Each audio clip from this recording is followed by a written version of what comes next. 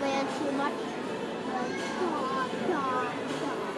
Fish, and because you're a man. No, Now